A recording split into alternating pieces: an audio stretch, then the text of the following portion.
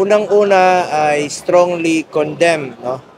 Ah, yung ah, recent na nangyari po yung panghaharas sa ating ah, Coast Guard at ah, ako po'y nananawagan ah, stop ah, bullying us. Ah, sa anim na taon binigay po ni dating Pangulong Duterte yung respeto sa inyo. Dapat naman po respetuhin niyo po ang ating ah, bansa. At ah, di porket maliit tayo na bansa, ah, mas malakas kayo sa military wise ay ah, ganun na lang po ang gagawin niyo. Respeto po ang kailangan dito at kinukundin ako po ito. Ako po ay ah, nananawagan sa lahat na sana po ay wag maulit ito.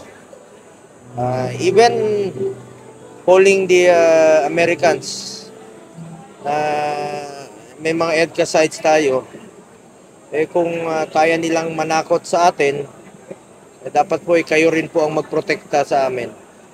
Eh, dapat nakatutok rin kayo sa, sa ganitong pangyayari.